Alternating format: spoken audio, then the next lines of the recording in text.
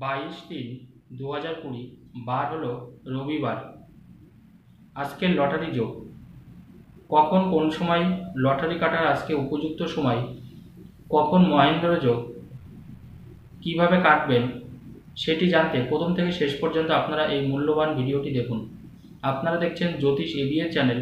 যদি আমাদের এই অনুষ্ঠান ভালো লাগে, অবশ্যই চ্যানেলটি সাবস্ক্রাইব করবেন। আজকে বাদ যেহেতু রবিবার তাই রবি অর্থাৎ সূর্যের দিন আজকে। সূর্য। সূর্য মানুষের জীবনে আলো দেয়। সূর্য যদি না ওঠে, তাহলে মানুষের সেই দিনটিও দেখবেন অতটা ভালো লাগে না। অর্থাৎ চারিদিকে একটা অন্ধকার বা শূন্য শূন্য মনে হয়। তাই রবিবারের সংখ্যা, রবির সংখ্যা কিন্তু এক। আমি আগে লটারির বিষয়ক প্রত্যেকটি বারের একটা সংখ্যা বলেছিলাম। তো রবির যেহেতু সংখ্যা এক, তাই আজকে আপনার লটারির যে সংখ্যাটা কাটবেন, সেই সংখ্যাটির যোগফল যেন এক হয়।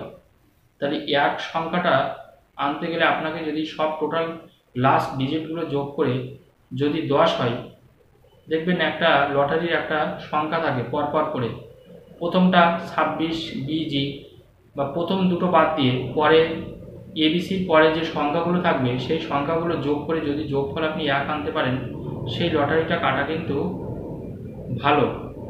অর্থাৎ সেটি দশ আনতে গেলে আপনার দশ হলে দশকে যদি যোগ করেন, তাহলে এক যোগ শূন্য সমান সমান এক হবে। আবার যদি সংখ্যাটা উনিশ হয়, তাহলে দেখুন, উনিশকেও যদি যোগ করেন, তাহলেও সেটা কিন্তু এক হবে। উনিশ মানে এক যোগ নয়, নয়ের এক দশ আবার দশকে যদি যোগ করেন, এক যোগ শূন্য সমান সমান শূন্য।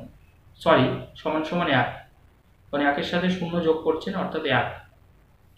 তো এবার এইভাবে আপনারা হিসাবটা বা ক্যালকুলেশনটা করবেন যে সংখ্যাটা আপনাকে এক আনতে হবে।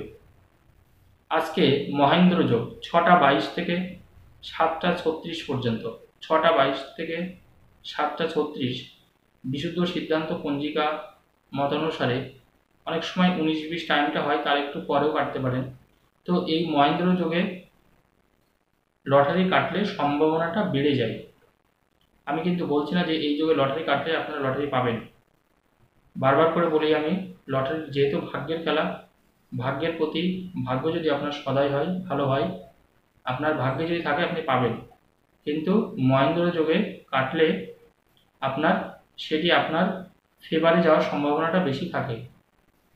তো অবশ্যই এই টাইমটার মধ্যে চেষ্টা করবেন, তাহলে সেটি আপনার জন্য যথেষ্ট ভালো। আজকে যেহেতু রবিবার তাই রবির বন্দনা করবেন, সূর্য প্রণাম অবশ্যই করা বাঞ্ছনীয়। কারণ যে কোনো ভালো কাজ, শুভ জিনিস, যে কোনো কোনো কিছুতে সাকসেস পেতে গেলে রবির একটা পাওয়ার দরকার হয়। তাই সূর্য প্রণাম যদি করা যায়, স্নান করার পরে, তাহলে সেটি কিন্তু অত্যন্ত শুভ সবার জন্যে। তাই আপনারা এটি করতেই পারেন, কোনো অসুবিধা নেই। এটি করার পরে আপনারা বুঝে শুনে লটারি কাটুন, তাতে কিন্তু আপনাদের বেনিফিট হওয়ার সম্ভাবনাটা বেশি থাকবে।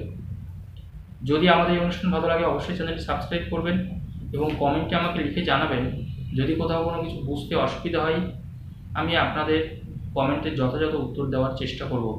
ধন্যবাদ, সবাই ভালো থাকুন, সুস্থ থাকুন।